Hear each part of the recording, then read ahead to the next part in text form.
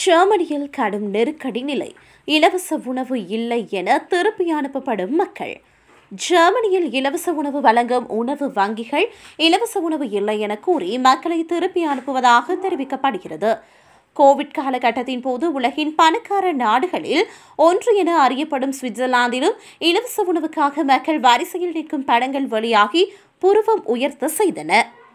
பிரித்தானியாவில் பல மில்லியன் குடும்பங்கள் ஒருவேளை உணவை தவிர்க்கவோ அல்லது சத்துள்ள உணவை குடும்பத்தினருக்கு அளிக்கவோ திணறி வருவதாக இன்று ஒரு செய்தி வெளியாகியுள்ளது. ஐரோப்பாவின் வலிமையான நாடுகளில் ஒன்றாக கருதப்படும் ஜெர்மனியும் அதற்கு விதிவிலக்கில்லையோ என எண்ண தோன்றும் வகையில் சில செய்திகள் வெளியாகியுள்ளன. ஜெர்மனியில் இலவச உணவு வழங்கும் வங்கிகள் புதிதாக வருபவர்களை உணவு இல்லை என திருப்பி அனுப்பும் நிலை உருவாகியுள்ளதாக உணவு வங்கிகள் தன்னார்வலர்களாக பணிபுரிவோர் தெரிவித்துள்ளனர். ஜெர்மனியில் சுமார் பதிமூன்று தசம் எட்டு மில்லியன் மக்கள் வறுமை கோட்டுக்கு கீழோ அல்லது அதற்கு அருகிலோ வாழ்கின்றார்கள்.